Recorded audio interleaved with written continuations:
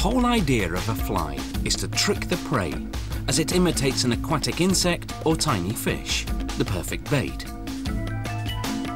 The fly maker starts by placing a hook in a vise.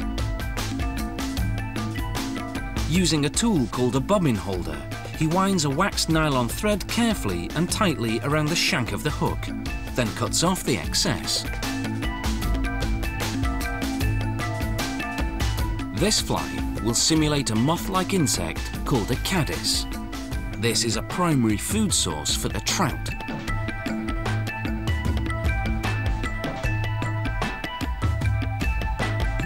The fly maker first attaches a special synthetic yarn to create the tail.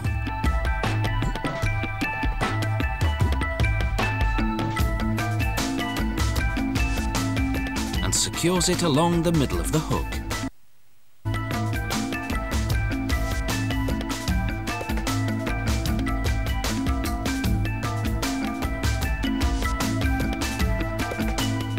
He then takes another synthetic material called dubbing to create the body and spins the dubbing between his fingers onto the thread. The wax on the thread helps it adhere.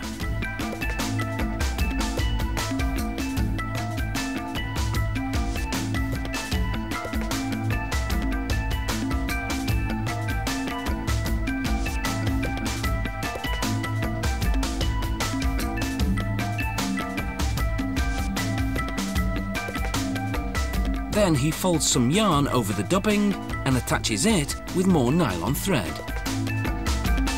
and cuts off the excess.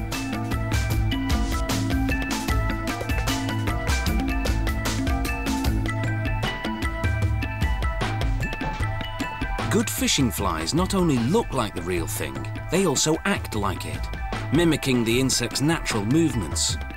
When a caddis pupa is ready to transform into an adult, it swims to the surface of the water. Then it deploys its wings.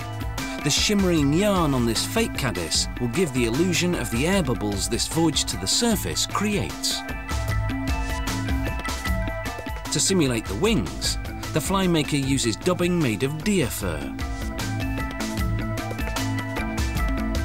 He cuts off the long, coarse hairs known as guard hairs then places them into a device called a hair stacker. All the hairs are now evenly aligned.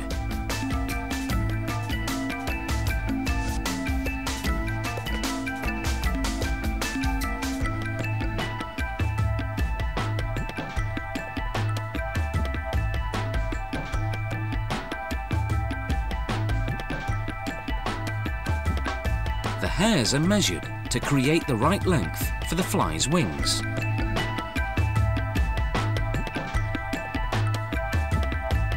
He then attaches it, leaving a portion sticking out of the front to form the insect's head. Next, he uses a tool called a whip finisher to tie a sturdy knot made of several loops.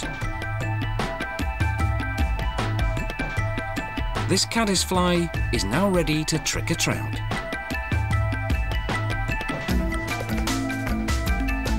There are thousands of styles of flies, according to the type of fish being caught and what it feeds on.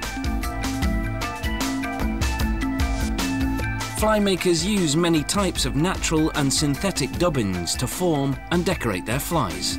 Feathers, animal hairs, metals and plastics, often dyed in brilliant colours.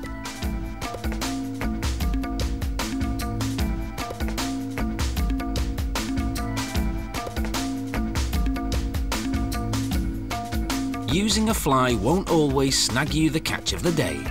But if you maneuver the fly to make realistic movements in the water, the fish usually buys it. Hook, line and sinker.